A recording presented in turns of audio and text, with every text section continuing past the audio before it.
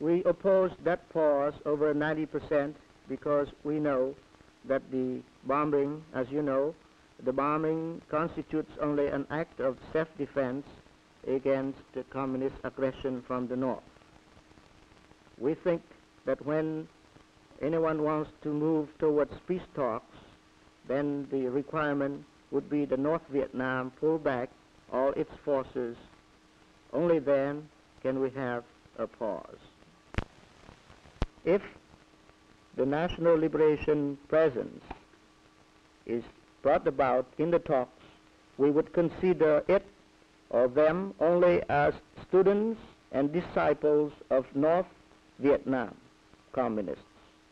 We will not accept to talk with the National Liberation Front on an equal level or on a private level.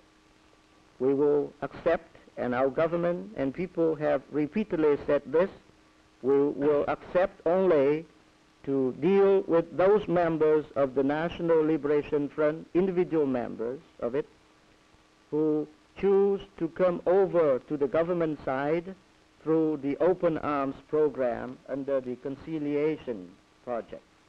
We will not have any unilateral talks with the National Liberation Front.